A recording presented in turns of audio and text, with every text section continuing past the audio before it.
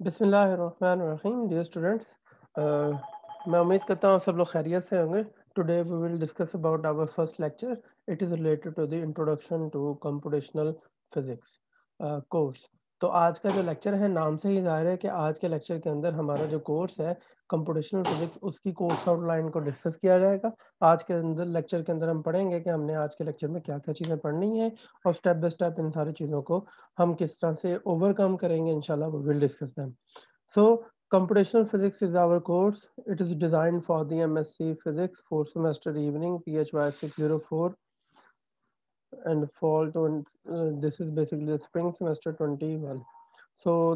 the lecture outline will be as follow. First of all, we will discuss about the course outline. हम सबसे पहले course के जो हिस्से हैं, उनको पढ़ेंगे। उनको हम कोर्स आउटलाइन कहते हैं सिलेबस जिसे कहा जा सकता है। फिर we will discuss about the lecture plan कि हमने लेक्चर को किस तरह से प्लान करना है। मिड से पहले क्या होगा, मिड के बाद क्या होगा, वो वाले हिस्से डिस्कस कर करेंगे, इंशाल्लाह। Then we will discuss about the recommended books and then at the end we will discuss about the evaluation scheme and interactive sessions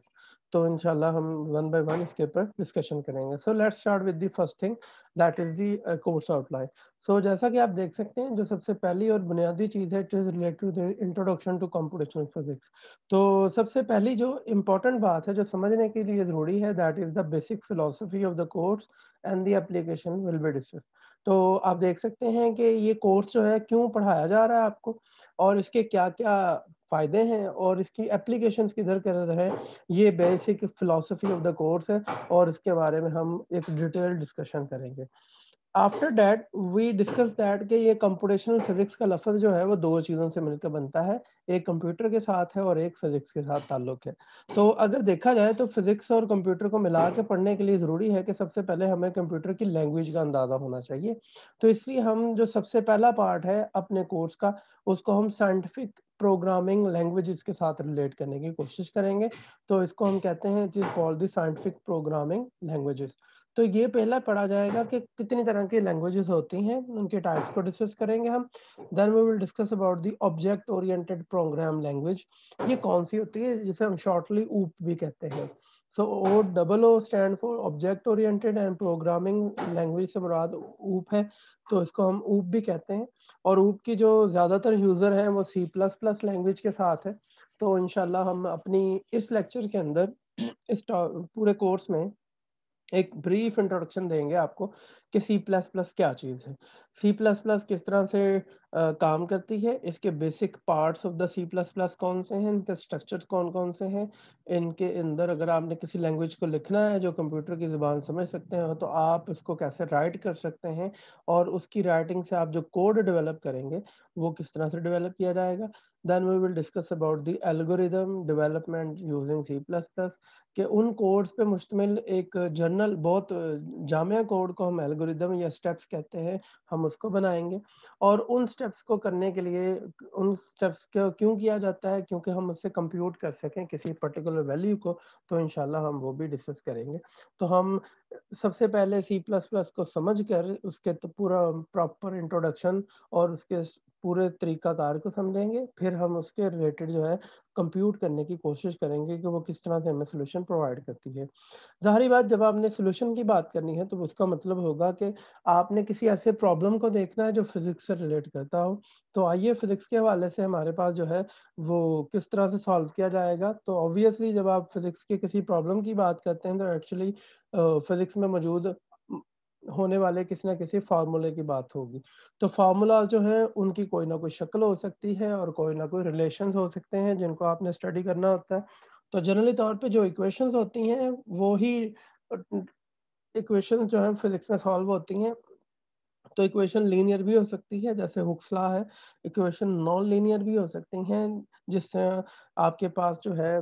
quadratic equation हैं, इसी तरह आपके पास जो है वो डेरिवेटिव वाली फॉर्म भी हो सकती है इंटीग्रेशन वाली फॉर्म भी हो सकती हैं, इसी तरह पार्शियल डेरिवेटिव वाली भी फॉर्म होती हैं और फुल डेरिवेटिव वाली फॉर्म्स भी होती हैं। तो हमारे इन लेक्चर्स के अंदर हम सीखेंगे कि किस तरह से आपने न्यूमेरिकल मेथड जो है वो इस्तेमाल करने हैं, क्योंकि न्यूमेरिकल से मुराद अगर आप इक्वेशन को डायरेक्टली अपने हाथों से सॉल्व करते हैं तो इसको हम कहते हैं it is called the analytical solution जबकि आप अगर किसी नंबर्स को दे के एक्स की वैल्यू को दें और वाई की वैल्यू फाइंड आउट करने की कोशिश करें तो this type of solution is called numerical solution तो हम न्यूमेरिकल सोल्यूशन को मैथमेटिकल इक्वेशंस के साथ रिलेट करने की कोशिश करते हैं। ऑब्वियसली इसके अंदर कुछ ना कुछ एरर भी होंगे और स्टेबिलिटी का भी मसला होता है। एरर क्या होते हैं कि आप अपने असल जवाब से अब मिसाल के तौर पे x is equal to x minus four is equal to zero है। अगर आप x को रीअरेंज करते हैं तो ये it is equal to x is equal to four this is the exact answer but अगर आप किसी कैलकुलेशन और न्यूमेरिकल मेथड के मुताबिक अगर इसको वैल्यू को फाइंड आउट करें तो आपका अगर जवाब 3.999 आता है, जो कि very close to the four है तो इसमें कितनी एरर होगा? वो 0.0001 का एरर है बिकॉज़ आप इतनी एक्चुअल वैल्यू से क्लोज है। तो इनशाला हम उसकी भी बात करेंगे। Then we will discuss about another numerical solution regarding the linear equation जिस तरह आपको याद होगा लीनियर इक्वेशन को सॉल्व करने के लिए आप मैट्रिसेस का सॉल्व करते हैं, जिसमें Gauss Jordan method Jacobi method Gauss elimination method इन सारी चीज़ों को ज़िक्र किया जा सकता है। गॉस रिडलिटरेटिव मेथड भी इसके अंदर इस्तेमाल किया जा सकता है। In the same way numerical solution of non linear equation numerical solution for ordinary differential equation इसी तरह से numerical differentiation integration numerical solution for partial differential equation इन सारी चीज़ों को हम पढ़ेंगे और इनके मुताबिक जो है हम सारी चीज़ों को कंप्यूट करने की कोशिश करेंगे। Similarly we will discuss about about the third part of the course और जाहरी बात है, जब आप किसी न्यूमेरिकल मेथड की बात करेंगे तो न्यूमेरिकल मेथड में बेशुमार मेथड है, जो कि आपके सामने लिखे हुए हैं। As you can see here the Euler method numerical instability Euler improved method Runge Kutta method fourth order method adaptive adaptive integration में technique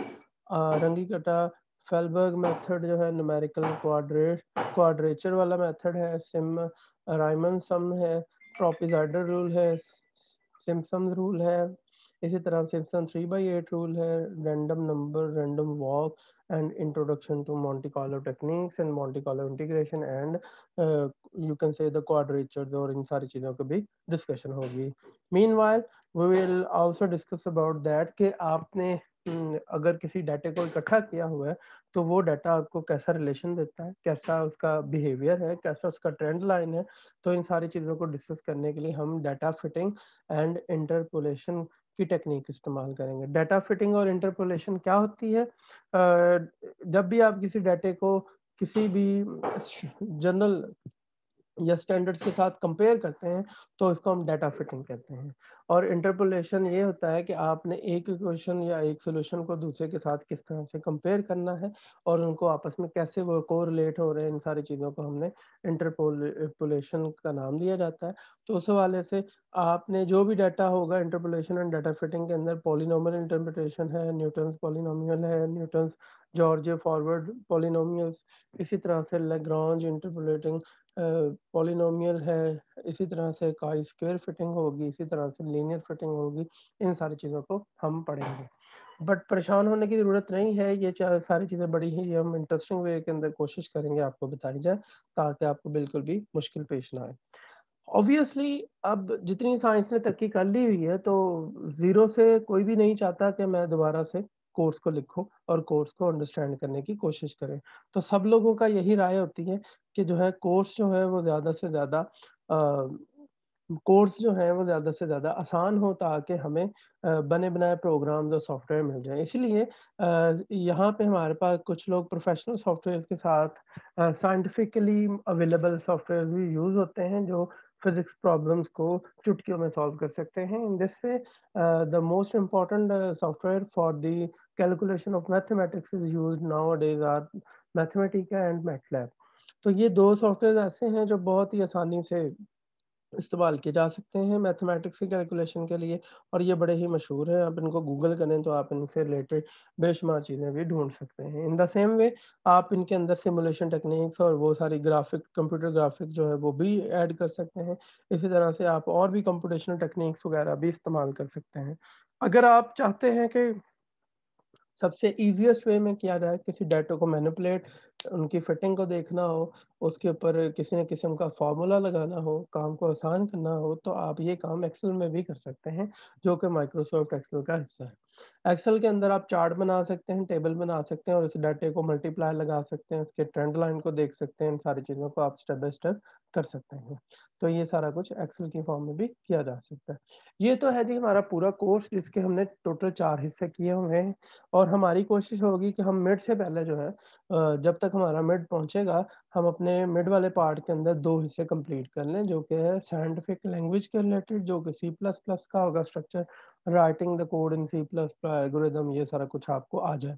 ऑब्वियसली ये सारी चीज़ें आप लोगों ने पहले नहीं पढ़ी होंगी, तो we will try our best कि आपको बिल्कुल ज़ीरो से चीज़ों को समझाया जाए ताकि आपके लिए चीज़ें आसान रहें।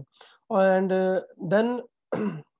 इन्हीं कोर्स को समझने के बाद हम अपने न्यूमेरिकल मेथड की तरफ़ जाएँगे, जिसके अंदर आप क्या करेंगे न्यूमेरिकल मेथड जो है, वो तरीकाकार समझाएँगे कि किस तरह से है, आप न्यूमेरिकली चीज़ों को सॉल्व कर सकते हैं और ईज़िली फिर इन की जो नई फॉर्म बनती है मैथमेटिक्स की, उनको उठा के हम इन कोर्स में पुट करेंगे और इनके सॉल्यूशंस को हम वन बाय वन टेस्ट करना शुरू करेंगे। तो लेक्चर मिड के बाद जो है, हमारे लेक्चर्स होंगे, वो remaining part of the numerical methods और उससे रिलेटेड आपके पास जो होगा नेक्स्ट डाटा फिटिंग का तरीकाकार होगा और उसके बाद जो है इन सारी चीज़ों को जो कर लेंगे सी प्लस प्लस के अंदर उनको जब हम मैथमेटिका और मैटलैब पे करेंगे तो यू विल सी दैट कि we don't need any particular uh, understanding, but we have to know about the mathematica and MATLAB syntax, जो कि C++ से और इससे बिल्कुल मिलता जुलता है और उसके अंदर थोड़ी सी आसानी पैदा की गई है। तो इन सारी चीज़ों का मकसद क्या होगा? You have a great grip better grip on the computational tools regarding the physics तो इन सारी चीज़ों में हम फिजिक्स की कैलकुलेशंस को कंप्यूट करने की कोशिश करेंगे।